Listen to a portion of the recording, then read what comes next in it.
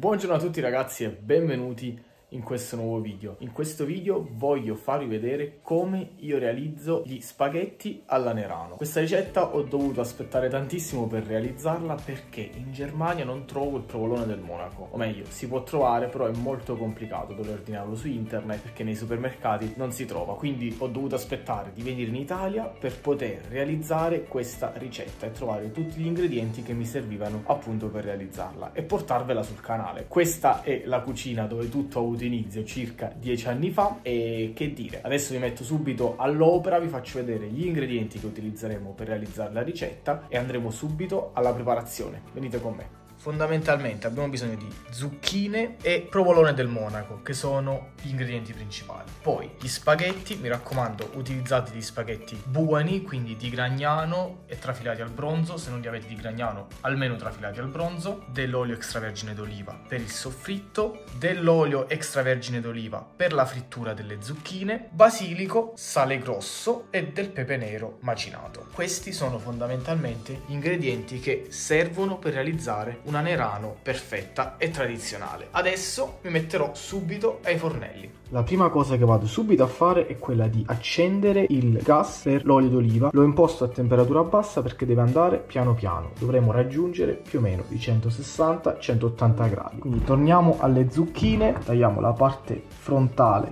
e quella finale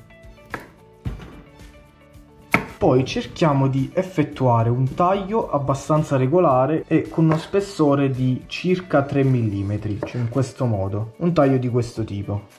Se avete una mandolina farete giustamente prima e avrete un taglio molto più regolare. Le dosi e gli ingredienti per 4 persone li troverete in descrizione, come sempre. Adesso continuo con il taglio fin quando non ho terminato tutte le mie zucchine. Per vedere se l'olio è arrivato a temperatura potete utilizzare sempre uno stuzzicadenti e andate a vedere se sfrigola. In questo caso inizia a sfrigolare quindi possiamo andare ad inserire le nostre zucchine.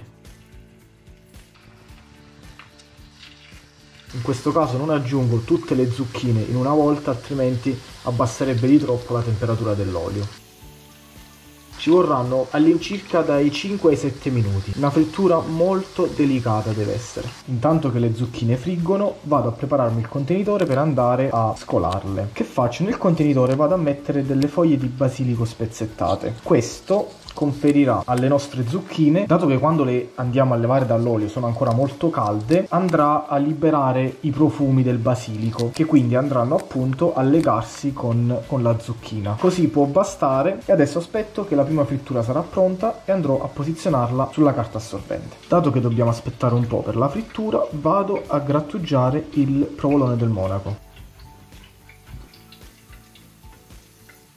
Perfetto, così va benissimo. Dopo averlo grattugiato lo mettiamo da parte. Andiamo a vedere a che punto sono le nostre zucchine. Iniziano a prendere colore, iniziano a colorarsi, ma ancora non sono pronte per essere levate. Devono iniziare a scurirsi leggermente. A quel punto saranno pronte per essere, per essere scolate.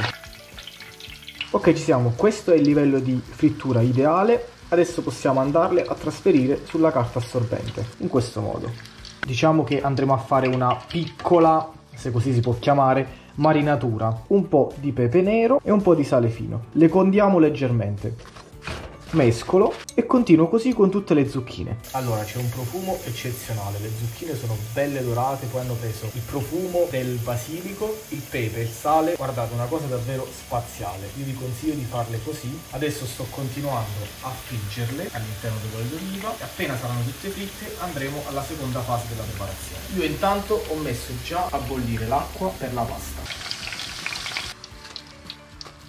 Ogni volta che aggiungo delle zucchine vado di nuovo a mescolare il tutto, diciamo la nostra marinatura, appunto per far prendere questo sapore di basilico a tutte le zucchine. Mi raccomando, non dimenticate questo passaggio perché è fondamentale. Calo gli spaghetti, vado con l'aglio, lo schiaccio e vado all'interno della padella. Olio d'oliva, faccio rosolare leggermente. Una volta che l'aglio inizia a rosolare con la camicia, vado a trasferire gli spaghetti all'interno Adesso vado a risottare la pasta con dell'acqua di cottura. L'aglio posso rimuoverlo. La pasta rilascerà tutto il suo amido all'interno della padella e andrà a crearmi la cremina. Vedete come sta già formando la crema? Spettacolare. A cottura quasi terminata aggiungo le zucchine all'interno. Faccio amalgamare bene tutti i sapori.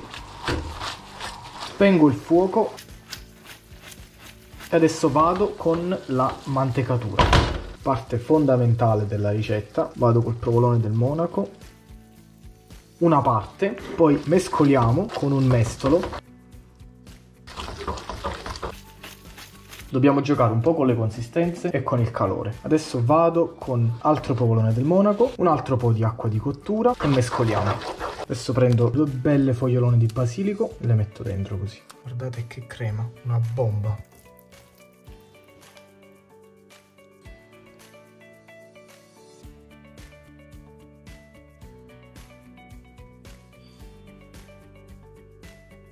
Allora ragazzi, grazie a tutti per aver visto il video fino a questo punto. Che dire, se il video vi è piaciuto lasciate un bel like, se il canale vi piace iscrivetevi e come sempre noi ci vediamo in un prossimo video la prossima settimana. Ciao a tutti!